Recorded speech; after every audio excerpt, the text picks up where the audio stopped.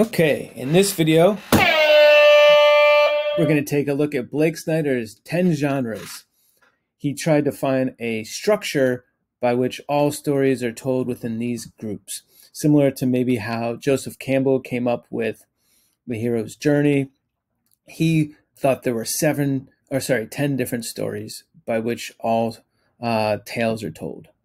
And his 10 are Monster in the House, Golden Fleece, Person with a Problem, Superhero, Rites of Passage, Buddy Love slash Romance Story, Fool Triumphant, Whydunnit, Out of the Bottle, and Institutionalized.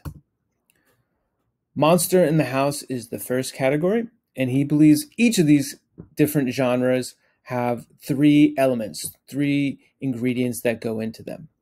For something to be considered monster in the house, it must have a monster, a house, and a sin. The monster is evil brought into the world, whether it is a person, creature, or anthropomorphized object. A house uh, is a space in which the characters are confined, whether it is a home, city, or realm. So it can be a metaphorical house and there is a sin. Usually, someone tempts fate or violates some code, which brings the monster. At the bottom, you will see several examples of this category. The next is Golden Fleece, which has the three elements road, team, and prize. The road is some path or destination that must be reached. It could be anything from a cross country trip to an oceanic voyage or even making it out of a convenience store. The team is typically uh, a buddy and more, or uh, several buddies who have complementary personalities, often the comedic relief if the main character is serious. A prize that is at the end is at the end of the destination. It may be a made-up prize like a MacGuffin. However, it's often an emotionally deep motive, like reaching home or a loved one. person with a problem has the elements of innocent hero, sudden event, in life or death battle. An innocent hero is suddenly involved in a problem without their desire to be. There's a sudden event that changes the world around them and brings the innocent hero into the crisis. And there's a life or death battle in which everything is at stake, whether it is a person, family, town, or world. Superhero the three elements of a superhero are power, nemesis, and curse. The power, the hero has some power, whether it is a superpower or simply a great personality or initiative. Nemesis, the hero has a nemesis who is the hero's rival, who is usually bitter and they are self made. They are typically better equipped or more skilled than the superhero. Curse, there is a price that must be paid, which the superhero either overcomes or is defeated by. Rites of passage a life problem, a wrong way, in acceptance.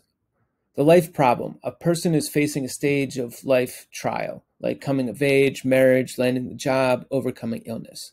The character has to overcome their flaw, which is holding them back, and then to accept it uh, is the only way path in in path forward. Uh, overcoming their failures or flaws, adapting to the situation is necessary buddy love slash romance story. There's an incomplete hero who needs a counterpart or something to fill their void.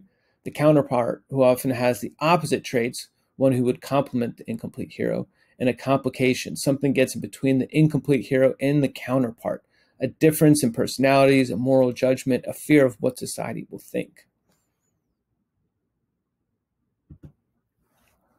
Fool triumphant has a fool, an establishment, and a transmutation. The fool is an innocent and somewhat and is somewhat fumbling through their objective. They often uh, often their innocent protect innocence protects them. Uh, an establishment is a place where the fool does not fit in. They are an outsider in the new world, and a transmutation occurs. The fool is able to navigate the new world with success, triumphing triumphing unexpectedly over the challenges. Still innocent at heart, but un- but aware of the world more. Whydunnit? There's a detective, a secret, and a dark turn. The detective is a rather static character already able to navigate the underworld or treachery, whether they are a novice, veteran, or cartoon. The secret is primal and deviously alluring. uh, so much so that we have to know it at all costs, even without rewards of fame, money, or pleasure. It becomes an obsession. The dark turn. The detective is willing to break their own code of ethics in order to get to the bottom and the why of the secret. Out of the bottle contains a wish, a spell, and a lesson. The hero wishes their life was different without realizing how lucky they already are. A spell is fulfilled by the wish, which has some set of rules which outline the conditions, and the lesson is an ironic twist to the wish being granted, often at the expense of the hero who learns their life was good enough before, like the monkey's paw, uh, or the examples below. Institutionalize a group, a choice, and a sacrifice. A specific group uh, is in which the story takes place, whether it's a family, town, or company. Uh, usually, the hero continues to choose to conflict with the group or a representative of the group, and they butt heads throughout the, the, the, the story's plot. Sacrifice. Something has to give, and the hero either dies, destroys the group, or commits a symbolic or literal suicide.